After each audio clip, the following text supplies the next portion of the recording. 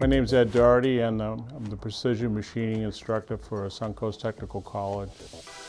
Well, all the students are, I like to call them apprentices. It's a career in a year, that's our motto here, and we try to train everybody to work in the modern metalworking industry. Uh, and, and we get them trained in, in, just under a year, about 11 months.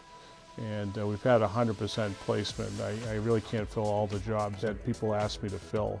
So we have a lot of need in the area for, uh, for machinists and computer integrated manufacturing. Uh, today's world has a lot of uh, computer-driven machines, so you need traditional machining skills and also to be able to work with computerized uh, programming and, and the same, and put those skills together in order to make uh, high-tech modern parts for like uh, the plastics industry, uh, medical implants, surgical tooling, and the defense and aerospace.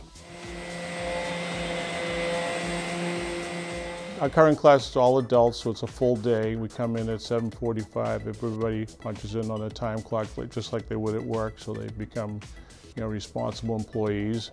And we'll go through some preparation for the day, you know, and we'll do some technical training.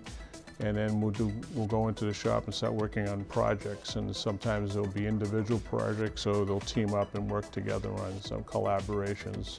And we're also working with our drafting department to, uh, where they'll design something and we'll make it and we'll work together on how that all works.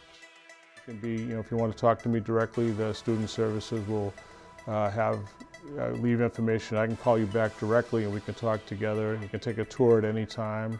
I even have a blog and a, and a YouTube channel, so if people want to see exactly what goes on in here without having to come in and, and the projects we work on, I have that also.